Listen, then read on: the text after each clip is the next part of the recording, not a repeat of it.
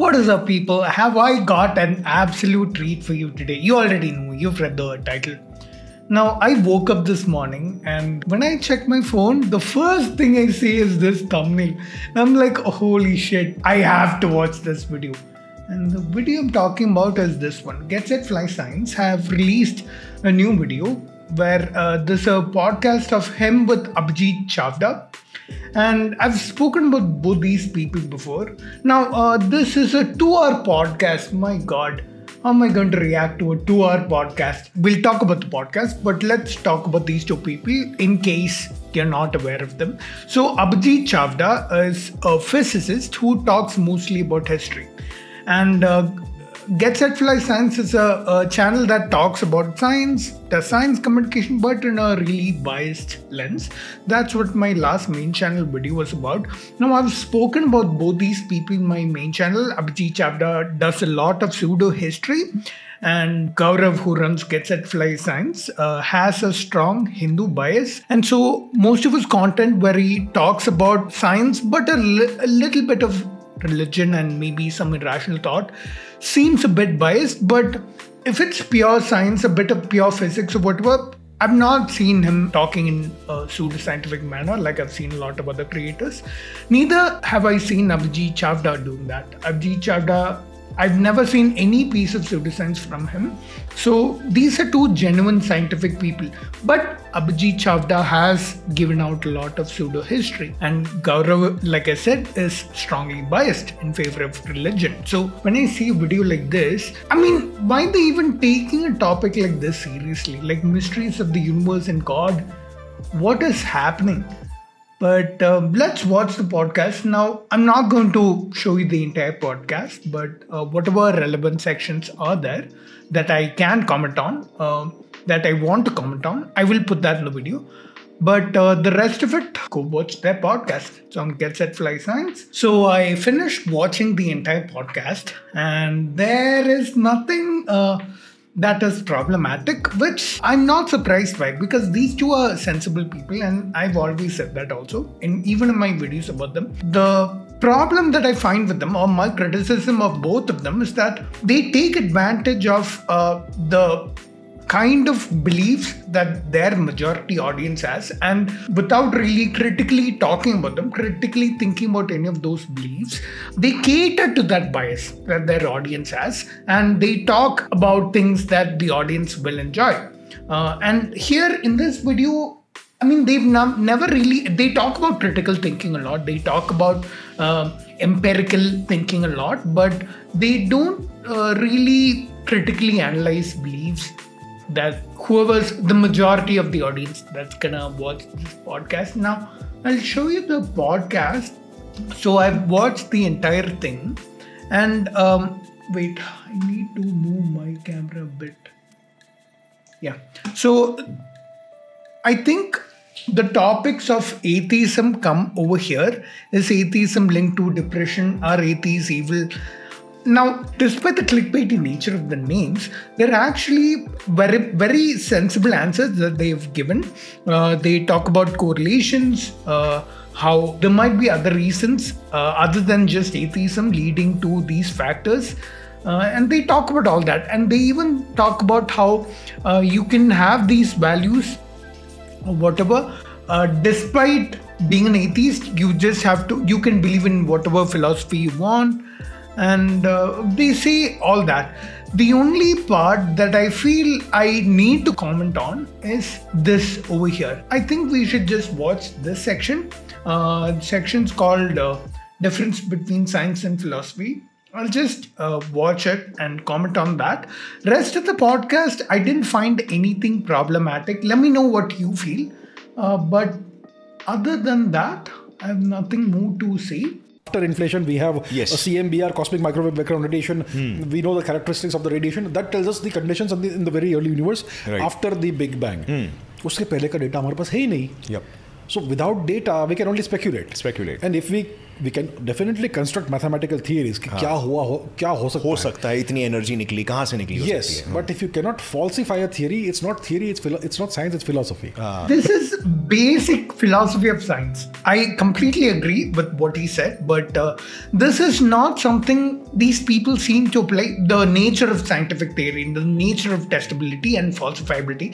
This is not something they seem to apply to other ideas that they talk about, which if they apply it, then their audience won't like it, and that's kind of what I say. But uh, Abhijit seems to take the position that uh, don't apply scientific thinking to anything religious.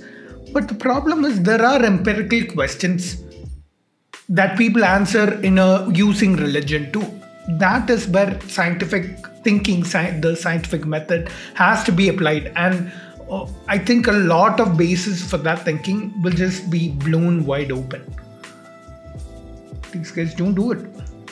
Right. Yes.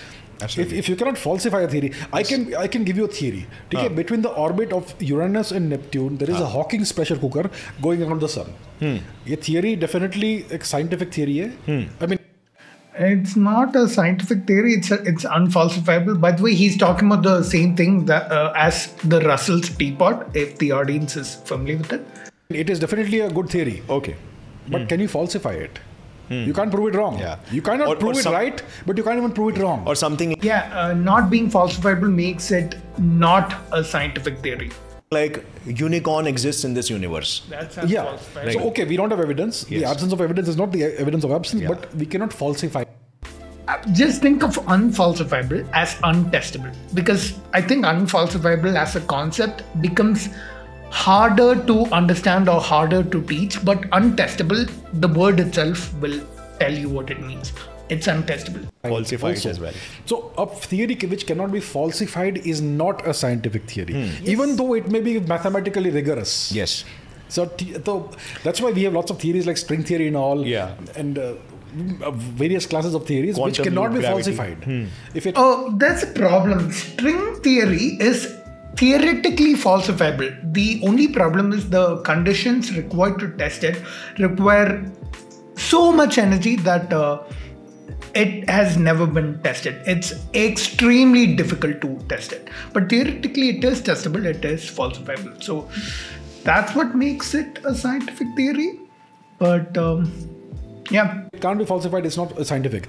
So the so the point is that the question of what came before the beginning, before the Big Bang, हाँ. You can only speculate about it in the absence Answer of through philosophy. you can answer through philosophy अब you spoke about धर्म कि धर्म की बात आती है कि अगर आपके पास इसका कोई उत्तर नहीं तो आप धर्म के पास जाओगे। हाँ।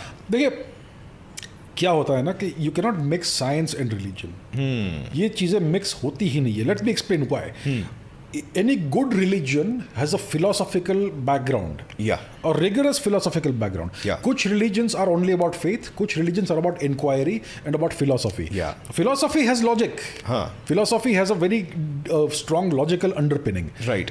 But in philosophy, see, philosophical theories are also theories. Theories. Just like scientific theories, Yeah. there is logic in philosophical theories. Yeah. But in science, the theories are grounded in data, in empirical and observational evidence, and the phenomena are all what I want to say here is the problem with philosophical theories is, is you can't call them equally valid.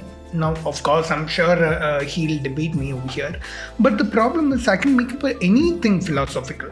Like um, I'm making a theory that the uh, world has invisible dragons in it.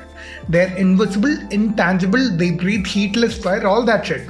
So there's no way to detect them. Now I can say this is a philosophical theory, but is it as valid in your eyes as say philosophical ideas from your religion? It wouldn't be. I mean, saying something is valid because it's a philosophical theory is problematic.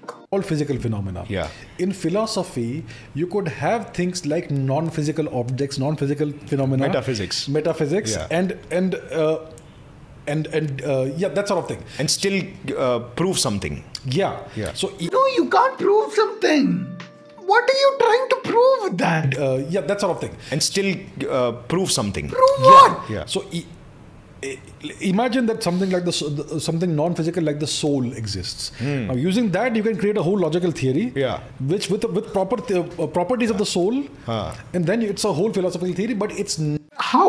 How? Just tell me how. how. Where do you get these properties of the soul? Now, the problem is when you talk about the properties of something, it immediately falls within the realm of empirical theory. Otherwise, these properties are all assumptions, aren't they? If you want to purely leave it in the realm of philosophy, aren't all of them assumptions? How does that make it any more valid than my invisible dragon idea?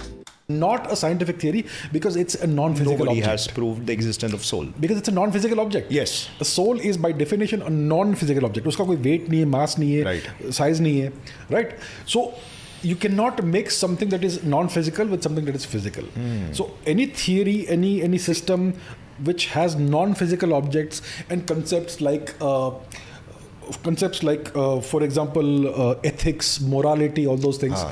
these things they come into the class of philosophical and religious theories not scientific theories Yeah, the problem with I agree, ethics, morality, all these they come under philosophy. But the problem is if you use a philosophy that is grounded in non-evidence-based empirical claims, there's a problem. That's problematic. That leads to all the problems that I talked about, and I do talk about in a lot of my videos. How about something more secular? How about something like secular humanism? That is a great way of grounding your ethics and morality without grounding it in something that is empirically untestable, unfalsifiable, and based on assumptions that are, yeah, untestable, unfalsifiable. So when somebody starts saying कि भाई अब हम science explain नहीं कर सकता इस चीज को अब भगवान की बात करते हैं that is I respect that but that is not science it doesn't mean it is good और बैड और रॉन्ग और right It is completely wrong for a scientist to make fun of philosophical theories and religious theories, And vice versa. and vice versa. Yeah. It is Yeah, uh, one thing, uh, like he says it's not wrong or right, but that makes it sound like it's valid. See, I will say that it's problematic. I think I've spoken about enough reasons why it's problematic, but briefly, um, it doesn't come in isolation. It comes as a package with a lot of other assumptions, some of which are empirical but untestable. Uh, and these assumptions form the basis for why people, you know, enact violence in the name of religion. Completely wrong for a religious person to make fun of science because you don't understand science. And similarly, most Yeah, I think criticism should not make fun. Uh, and this is a realization I only made, uh, or this is something that hit me only later on in my YouTube journey. So if you find some of my older YouTube videos, you will find me making fun. Um, but I refrain from making fun. Even if I disagree with someone, I think it's important that you don't make fun. The reason is if you want to try and convince someone of what you're saying, or if you want someone to take you seriously and consider your arguments, then uh, it's important they don't feel attacked. Because when they feel attacked, their primary objective is becomes to defend and not to think about the points you're saying scientists don't understand religion or philosophy. Mm. ये दोनों are like oil and water; they don't mix. Some people may be able to straddle both the domains, hmm. but even in their minds, they're very clear कि ये अलग है, ये Yes. There are lots of scientists who are religious. Yes. For example, uh, what's his name? Lemaitre. He's one of the um, one of the pioneers in cosmology. He was a Catholic ah. priest. Ah. He believed in, in uh, Galileo was also uh, like he believed in religion, right? in those days, back then, people had questions which could or from what they understood they could only be answered using religious uh, you know answers. But i wouldn't consider anyone that came before uh, darwin uh, genuine you know religious or scientist scientific person but yeah. Because there were questions like the design hypothesis. And the only way you could people could answer it was with god I suppose Initially, yeah. maybe he must have believed in religion too. I'm not. I'm not very familiar with his life history. Okay. I have the religious history, but Georges Lemaitre was definitely a Catholic priest. Okay. Okay, but he came up with a, with a very significant uh, uh, i've spoken about this contributions to the Big Bang theory. Uh, you know, physical cosmology, which are completely against his religion, Ah. religious beliefs. So it's possible to have this. For example, Ramanujan, one of the greatest mathematicians Yeah, in the past yeah. Ramanujan also I have a video on him. I'll link both of them down below. thousand years. He was a deeply religious person. Hmm. Right. Every equation came from his goddess in, Yes, his, in his goddess. dreams. Hmm. So you can reconcile these two things in your mind, Hmm. but at the end of the day, these are separate things. Yes, absolutely. So, sir, in my opinion, like uh, religion or the phil- the religious philosophy adds meaning to your life because universe as a whole it doesn't have any meaning. Like universe can an- like science can answer the how, but not the why, right? Why? Like why? And which probably brings us to the original causality thing. कि शायद और ये ये मतलब मेरा एक assumption है this is a philosophical direction where we are going in right now कि शायद अगर and there are some scientific basis like वो डेटा ऑब्वियसली अगर हम सिर्फ़ अपने यूनिवर्स के कॉन्टेक्स्ट में समझे तो काफ़ी माइक्रोस्कोपिक हो जाएगा। बिकॉज़ बहुत सारी थियरीज बोलती है कि यूनिवर्स के बाहर भी बहुत सारे यूनिवर्सेस हो सकते हैं। But are they all equally valid theories outside of the universe that you talk about are they all equally valid so under what framework I can consider them there could be hyper hyper space right? Hinduism says this, and it's it's not a scientific theory. the yeah, yeah, exactly. It are beyond different, science. different concepts and different philosophies. Yeah. So अब यहाँ पर अगर हम वो quantum field theory का assumption लेते हैं और हम एज्यूम करते हैं कि इस यूनिवर्स में जो भी चीज़ because there are so much quantum quantum fluctuations everywhere Yeah. there are vibrations there are harmonics everywhere तो obviously यहाँ पे multiple चीज़ें create हो रही है so we can classify these creations into two two things one is the entirely one is stable topic, which I'm not gonna talk about. But yeah, basically that was the only section that I felt I should comment on.